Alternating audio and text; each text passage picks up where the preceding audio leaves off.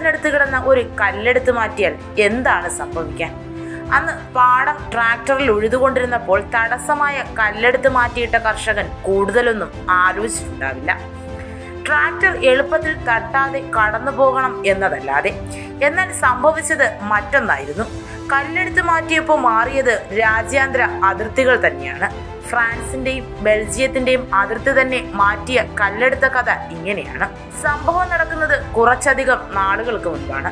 Belgium France അതിർത്തിയിലുള്ള തന്റെ സ്ഥലത്ത് നിലം ഒഴുകയായിരുന്നു ഒരു കർഷകൻ. പണി കാര്യമായി പുരോഗമിച്ചു കൊണ്ടിരുന്നപ്പോഴാണ് ട്രാക്ടറിന് തടസ്സമായി തിരിയുന്നിടത്ത് ഒരു കല്ല് അദ്ദേഹത്തിന്റെ ശ്രദ്ധയിൽപ്പെടുന്നത്. കൂടുതലൊന്നും ആലോചിക്കാതെ അദ്ദേഹം ആ കല്ലെടുത്ത് കുറച്ചപ്പുറത്ത് മാറ്റിയിടുകയും ചെയ്തു.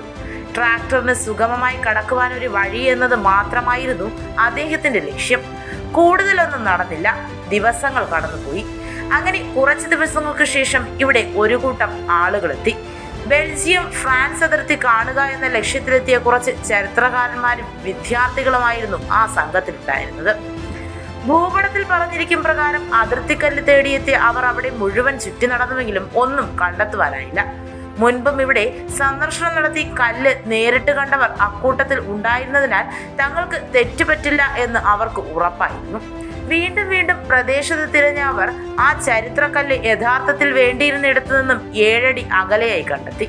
ചരിത്രത്തിൽ നോക്കിയാൽ ഫ്രാൻസിനെയും ബെൽജിയത്തെയും തമ്മിൽ വേർതിരിക്കുന്ന ഈ കല്ലിന് ഇരുന്നൂറ് വർഷത്തിലധികം പഴക്കമാണുള്ളത്.